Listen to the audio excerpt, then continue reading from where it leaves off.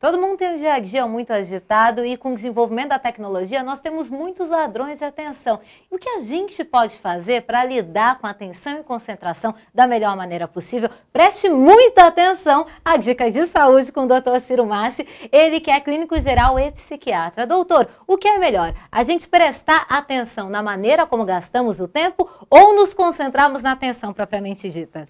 Ah, a pergunta é ótima. Por quê? Na verdade, nós passamos por um primeiro momento para a gestão de conhecimento, né? A gente tinha que administrar as informações. No segundo momento, a gente tinha que administrar o tempo. E agora nós já estamos no terceiro momento, que é a administração, a gestão da atenção e da concentração. O que a gente tem que lembrar é como é que agem os grandes atletas. Como é que eles agem? Eles pensam na forma de um U invertido.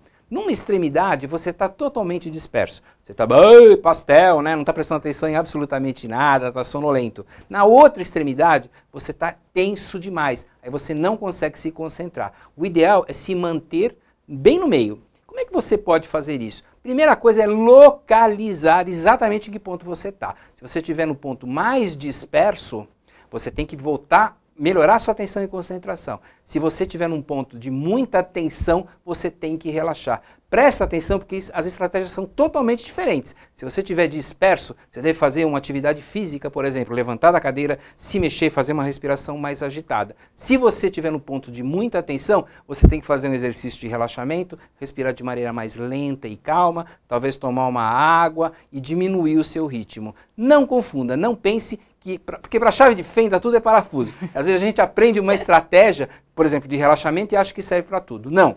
Em matéria de atenção e concentração, primeiro localiza se está tenso ou se está muito relaxado. E depois usa essa estratégia que eu acabei de falar, que você vai viver muito melhor. Sensacional, doutor. Vou prestar atenção quando eu tenho que relaxar e quando é momento de retomar a concentração. Essas foram mais dicas preciosas para a sua saúde, para você viver mais e melhor.